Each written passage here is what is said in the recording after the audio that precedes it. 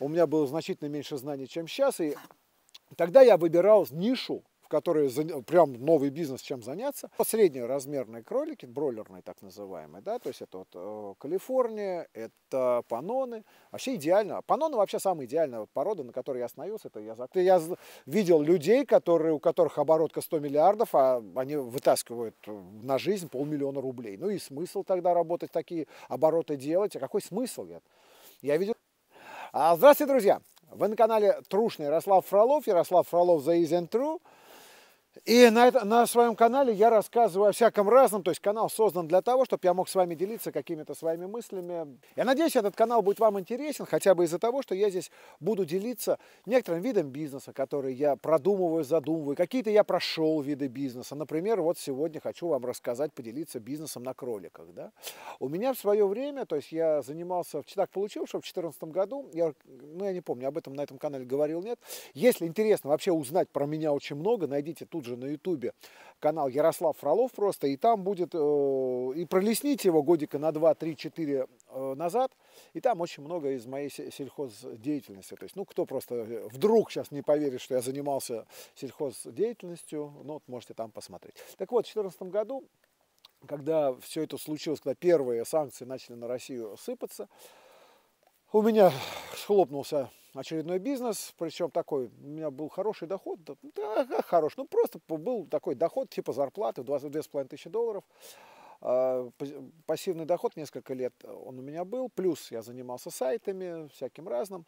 И вот тогда я решил полностью поменять жизнь и открыть какой-то, ну вот тут совсем-совсем другое, чем бы я раньше занимался. Я думал заняться строительством, я думал заняться э, там автомобильным бизнесом, я думал заняться всяким разным. Ну, во-первых, на автомобильный нужно было деньги, а тогда, помните, 14 год, там все схлопнулось. Это фактически 98 год тогда наступил. Доллар скакнул, все было, никто не знал, что будет, там, ну вот, вот это все. И я тогда решил, сел просто для себя подумал чем люди, то есть вот когда выбираешь новую нишу, да, то есть сейчас, сейчас я бы, конечно, по-другому выбирал, сейчас. Но тогда я, не у кого у меня было учиться в 2014 году, у меня было значительно меньше знаний, чем сейчас, и тогда я выбирал нишу, в которой прям новый бизнес, чем заняться, куда потратить часть своей жизни, а я потратил 7 лет своей жизни на это, э, я сел и подумал, что люди делают? Люди рождаются, люди умирают, рождение детей, ну, это немножко от меня далеко. А смерть я не хочу, мне это вот, ну, как-то вот, ну, не нравится. Мне вот участвовать в похоронах. Да, я понимаю, что там огромные деньги крутятся, но вот это просто душа не лежит, не хочу и все. Я занимаюсь только тем, что мне нравится. Дальше. Люди живут. Что делают, когда люди живут? Ну, самое главное, да? Они кушают, ну и какают. какают, опять-таки, как-то так вот мне почему-то не понравилось. И, то есть люди кушают. Люди кушают, кушают в первую очередь что? Мясо. То есть белок – это строительный инструмент для организма. Белок какой? Больше всего белка – это в курятине. Курятину давайте выращивать курятину. Ну все, и я занялся. Реально, вот именно, именно вот так вот. И у меня логика была открытия моего бизнеса. Да, сейчас я бы пошел совсем по-другому. Сейчас бы я бы сказал, вот реально, вот если бы я сейчас выбирал нишу, и, кстати, имейте в виду, если вы сейчас вдруг ищете себе новую нишу, то я бы выбирал, и, собственно говоря, я, я сейчас выбираю себе очередной бизнес. Не то, что я буду, у меня один будет, и все. У меня один есть, то есть я занимаюсь подбором домов и участков в Крыму. Если вдруг кому интересно, найдите мой телеграм-канал «Подбор дома в Крыму». Прямо в телеграме «Подбор дома в Крыму». Собачка «Подбор дома» по-английски. И э, я, я просто ищу, периодически ищу какие-то бизнесы, которым бы заняться, тестирую их, смотрю. Вот, и если бы я сейчас выбирал бизнес, а не тогда, в 2014 году, то сейчас уже я бы выбирал его, просто нашел бы бизнес, где можно заработать в течение года и вообще зарабатывать в год не менее миллиарда рублей. Я не считаю бизнес оборотами, потому что я вообще не понимаю, когда предприниматели начинают хвастаться, письками мериться, что вот у меня оборот 10 миллиардов, у меня оборот 150 миллиардов. Я говорю, ребят, я не понял, а какая у вас прибыль? Сколько вы вытаскиваете себе вот в карман? Сколько у вас зарплата? Ну, не зарплата, а сколько вот у вас лавкост? Сколько вы тратите вот в месяц? Сколько вы вытаскиваете? Потому что я видел людей, которые, у которых оборотка 100 миллиардов, а они вытаскивают на жизнь полмиллиона рублей. Ну и смысл тогда работать такие делать, а какой смысл? Я, я видел людей, которые, ну, вот, э, которые, э, у которых обороты 5, 10, 20 миллиардов в компании, а тратят они вот на себя не больше миллиона рублей в месяц, например.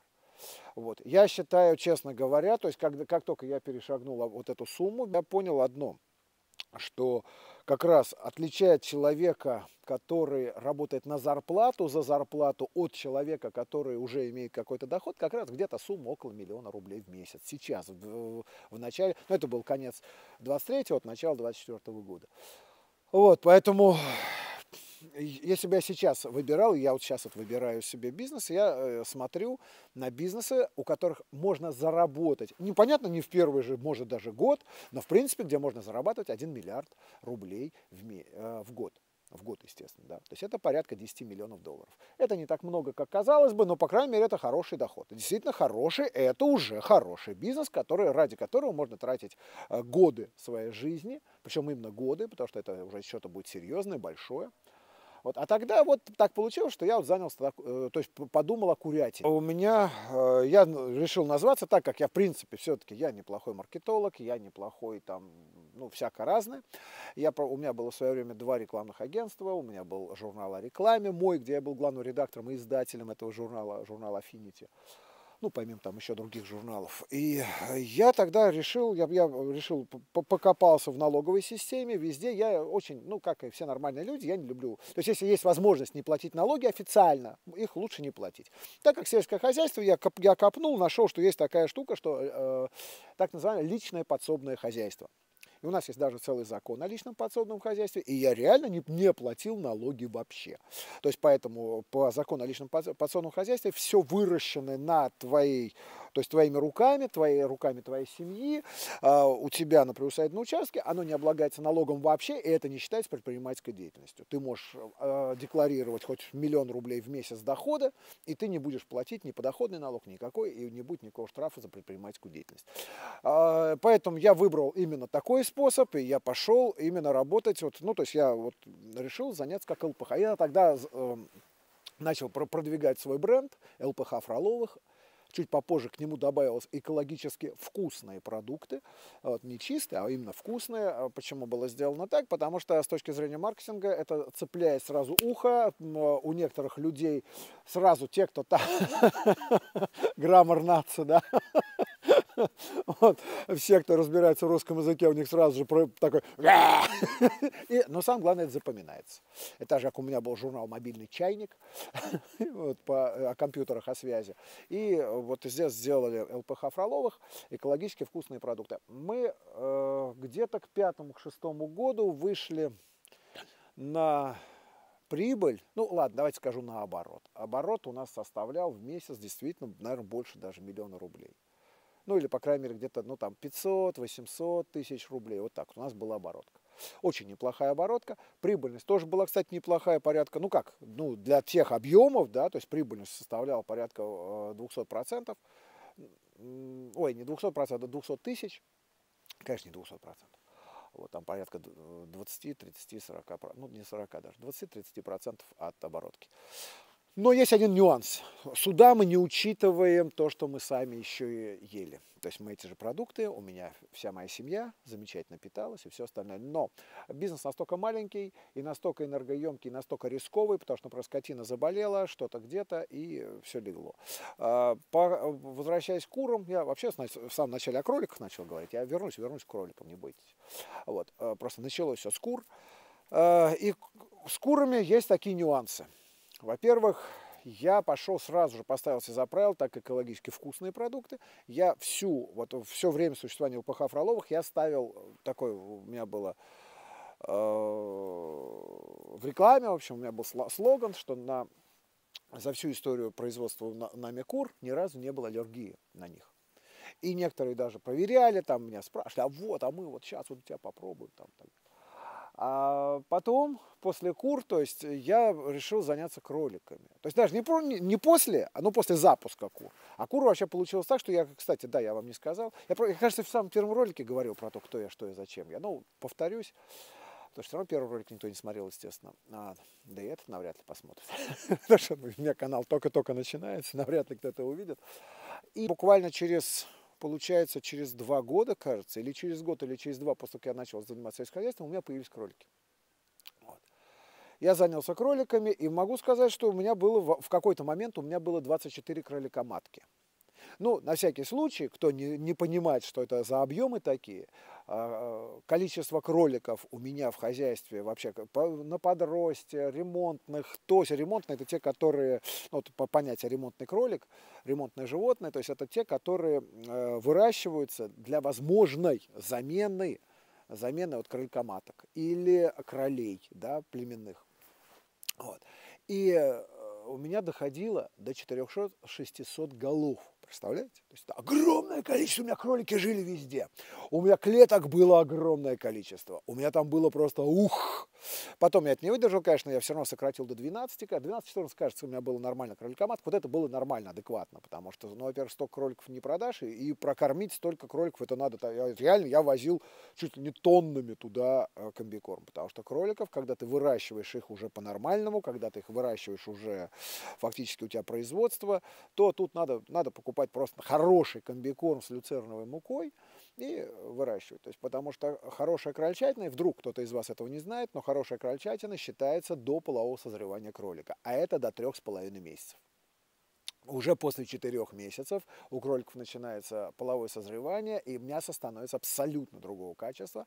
Оно абсолютно невкусное, ну, по сравнению с теми, которые там 3-3,5 месяца э, кроликов.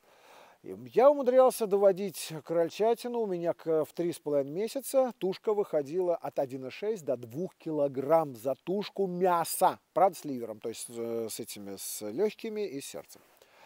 Вот, то есть 2 килограмма это очень хоро, это хорошее очень мясо, при условии, что у меня были кролики панон, а до этого у меня было ой, калифорнийское. Вот. И у меня у них, там, в общем, у них выход мяса, в общем, очень хороший, там очень тоненькие косточки в этот момент и все остальное. Когда вам кто-то начинает говорить, вот у меня там кролик весом в 4 килограмма. Друзья, да, у него кролик весом 4 килограмма, стоимость, себестоимость этого мяса настолько дорогая получается, плюс мясо настолько невкусное, что ну его нафиг, таких кролей. Если вы вдруг будете заниматься действительно производством кроликов, ну, производством крольчатины как мясо, и захотите увидеть самое дешевое, то есть, ну, вот, чтобы вот самым дешевым производством заниматься, все-таки найдите мой канал Ярослав Фролов на ютубе и промотайте его года на 4 вниз. Там посмотрите по кроликам, у меня несколько роликов было именно по клеткам. Там я где-то даже, у меня было как построить клетку, как построить бункерную кормушку, дешевые. То есть не то, что там в интернете, да, там есть классные клетки, там у Саши, там то все, у них есть классные клетки. Вот у Жени Макляка, вот у него, вот у них все, у них классная вся система, но они просто по производству очень дорогие. Они очень дорогие по производству, окупаемость там такая, она, ну, есть, конечно, да, согласен, то есть особенно Сашины, да. Они классные, наверное, я не пользовался, но, скорее всего, классные, долгоиграющие, все. Но я делал из обычной сетки. Я брал сетку, двойку, оцинков... из оцинкованной двойки, но именно двойку, не 1,6, а толстую. Покупайте дорогую сетку, 20 на 20, 25 на 25, покупается такая э, сетка, и из нее делаются уже клетки. Прямо из просто из сетки. Это я жил тогда, сейчас-то ладно, я в Крыму, да, вот я сейчас этот ролик снимаю 18 декабря, ой, 18 февраля 24 года. Февраля, представляете, сейчас вот, вот сейчас 18 февраля, здесь травка зеленая, все хорошо. Я сижу вот так вот, это уже второй дубль. Здесь уже я не замерз, тут нормально. Сейчас что-то, ну, кстати, у нас холодно, что-то плюс 3, плюс 4 градуса сейчас. А, но я, я кроликами занимался в Казани, где в это время 27 градусов. Вот сейчас в Казани там порядка 20-25 градусов, минус, естественно. И кролики у меня в таких клетках, в сетчатых, на улице спокойно себя чувствовали. Единственное, что очень бы желательно их от ветра хотя бы как-то прикрыть. Они у меня стояли, э, я их вешал на сарае, то есть у меня, ну, сарай у меня с скотиной стояли, их с задней стороны вешал, вот, чтобы они не обоссывали, потому что у меня там была ОСБшка, я подкладывал туда. Надо бы по уму просто плоский шифер поставить, и вообще проблем бы не было. Но так как у меня денег было мало на это все, я брал жесть, ее хватало там на 2-3-4 года, потом она просто в дыры была, но, по крайней мере, первые два года она точно живет. Я брал оцинкованную жесть, вот, ее вдоль ставил, немножко так э, отгибал от э, сарая самого, чтобы на сарай не лилась моча, и чтобы она сливалась, какашки тоже все падали, все классно. А по бокам, по бокам прикрывал от ветра, просто, просто две шиферины ставил и все. Вот, и в таком виде у меня кролики жили хорошо, очень э, и, и вес набирали. Да, конечно, если кроликам делать отдельное помещение, все это там делать кондиционированное помещение, имеется в виду там зимой подогревать, летом а, делать попрохладнее. Ну, ребят, это столько геморроя, это столько всего, что ну, жить не захочется. Это будет жрать денег очень много. Вот. Так как я делал, то есть было вполне нормально, вкусное мясо, реально вкусное мясо, выход мяса хороший. У меня были проблемы, потому что у меня, а, я почему бросил заниматься кроликами там, у меня то ли ласка поселилась, то ли мои кошки, которые там жрали, у меня помимо крыс еще и походил крольчат вытаскивали через эту сетку. Потому что у меня слишком низко, у меня где маточник, там слишком низко были сетки.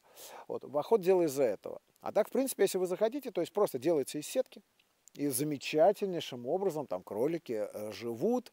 Э, паноны, ну, среднеразмерные кролики, бройлерные так называемые, да, то есть это вот э, Калифорния, это паноны. Вообще идеально. Паноны вообще самая идеальная порода, на которой я остановился. Это я закончил кроликами заниматься три года назад. Два. Вот.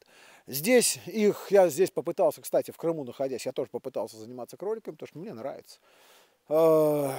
Их когда вот на сетке так выращиваешь, не надо большого, большого ухода за кроликом, например, не надо. А, какашки у тебя, то есть их вешаешь где-то на расстоянии метра от пола. Как, э, убирать у них надо раз в год под ними. Вот реально у них какашки вот наваливаются, и раз в год просто с тачкой, с лопатой пришел, собрал, на грядке положил. Крольчачий навоз, кстати, можно без, перегна... без перегноя сразу же вносить на грядки они, ничего не сгорает, все хорошо, все замечательно, так же, как, кстати, и лошадиный навоз, то же самое можно класть сразу на грядки. Вот. И крольчачий навоз сразу положил, там, по весне, например, раз, раз, но если вы в Казани где-то там, как только оттаяло, там где-то в, в конце апреля, в середине апреля оттаяли вот эти вот все э, на, на, навоз их, сложил на тачку, увез в огород, и все будет замечательно. И через год опять то же самое повторю. Поэтому ухода большого не надо, сена не надо. Я не делал сена. И, собственно, все, кто занимается профессиональными кроликами, сена не кладут. Не намного это удешевляет производство крольчатины, если ты будешь заморачиваться сеном, а вот геморрой тебе устраивает значительно больше. А самое простое, то есть надо брать максимально возможный по деньгам э, комбикорм с, люцер, с люцеркой. Вот. То есть это прям видно зеленые такие гранулы получаются. То есть не чистая люцерка, там должен быть обязательно комбикорм, потому что если там не будет зерновых, в этом комбикорме, то тогда просто вы мясо нормального не получите. Понятно, что в люцерке много белка, вот это все, но все равно нужны обязательно зерновые, чтобы у кролика было хорошее мясо. Вообще у животного, чтобы было хорошее мясо, нужно зерновые. Вот. Э, забой его производите сами, я показывать не буду. Кстати, я, если, я кажется, вот опять-таки на канале Ярослав Фролов, я, кажется, там показывал забой, не знаю. Ну, как забивать кролика, вы уж сами разберетесь. Вот. Здесь, здесь на канале я просто хотел поделиться своими мыслями, как, как вы можете зарабатывать деньги, э, вот переехав в тот же Крым, да, я каждое утро, каждое утро, там, ну каждый день, но снимает каждое утро, размещаю обычно к обеду, я вам э, делаю короткие вот эти ми, ми, минутные шорцы, какой бы бизнес я открыл, а скоро буду делать, какой бизнес я тут придумал открывать там и так далее. А, и здесь вот в больших роликах хотел вот вам вот сельхоз, сельхозбизнес немножко развить. По птице мы будем с вами еще говорить, потому что у меня были индюки, у меня были утки, у меня были э, а, эти самые курицы, которые махноногие, вот это все, то есть ну, не продуктивные животные уже, не животное, а птица, да, непродуктивная, а которые продают ради красоты. Ну, вот, э, эти китайские хохлатые были, они, кстати, даже неслись. Классные яйца, кстати, несут, вкусные, зараза.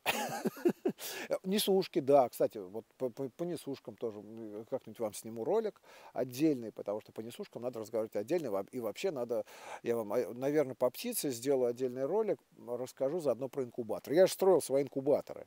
И я вам вот сейчас небольшой спойлер, я понимаю, что до конца ролика мало кто досидел, но кто-то из вас досидел, то имейте в виду, в ближайшем будущем, если не забуду, сейчас запишу и не забуду, то э, сделаю вам ролик про инкубаторы, как построить инкубатор буквально на коленке из утюга, я не, не прикалываюсь.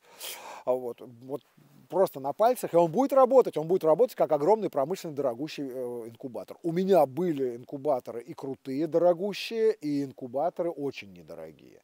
Поэтому имейте в виду, а, не, не отписывайтесь от моего канала, наоборот, если вы сейчас все-таки досмотрели до этого момента, подпишитесь. Друзья, если я забуду в ближайших двух больших роликах вам рассказать про инкубаторы, обязательно мне в комментариях напишите, Ярослав, ну ты про инкубаторы когда расскажешь? Все, я сразу вспомню и вам сделаю. Но я постараюсь не забыть сейчас записать, у меня есть большая такая черная книжка записная, куда я все записываю. Вот. И еще, Друзья, имейте в виду, я практически онлайн всегда отвечаю на ваши комментарии, поэтому иногда со мной этим люди пользуются, и мы прям в комментариях, как в чате, прям иногда переписываемся. Имейте это в виду. Вы можете в комментариях мне оставлять любые ваши мысли. Единственное, что большая просьба, я не совсем толерантен, не хамите мне лично. Начнете хамить мне или оскорблять крымчан, я буду вас просто блокировать. Я к этому отношусь ну, абсолютно спокойно, я блокирую, забываю об этом сразу как страшный сон.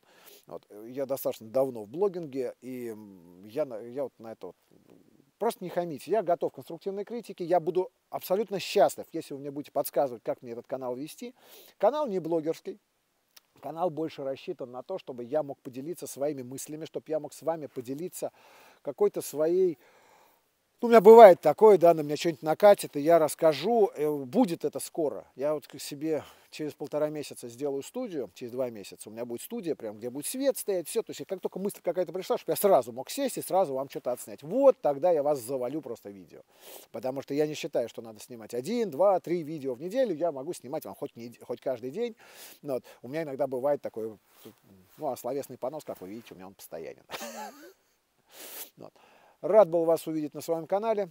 Надеюсь, вам хоть что-то вы здесь нашли интересного, полезного. Ну или как минимум, если уже досмотрели до сюда, то полезно провели свое время. Я буду вас еще радовать чем-нибудь интересным. Увидимся. Пока-пока. Да, и, кстати, если вам вдруг интересен стрим, вдруг интересен стрим на этом канале, скажите. В принципе, мне уже даже при вот 100 подписчиках, что сейчас есть на канале, мне уже YouTube разрешил делать стрим. Я могу сделать стрим, мы можем поговорить с вами в режиме онлайна о бизнесах, о... Да, кстати, кстати, мы можем с вами поговорить о сбывании меч в том числе, потому что я в это действительно верю. Я э, помогаю людям даже об этом думать где-то, когда-то как-то. Ну, все, увидимся, пока-пока.